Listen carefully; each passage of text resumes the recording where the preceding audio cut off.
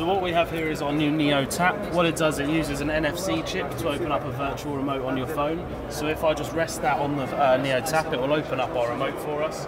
And now, as you can see, I'm instantly controlling the Apple TV in front of me. I can switch underneath to Blu-ray player, and then if I press pause, it pause the Blu-ray play. You have all your controls through your phone for the Neo Tap. Do this.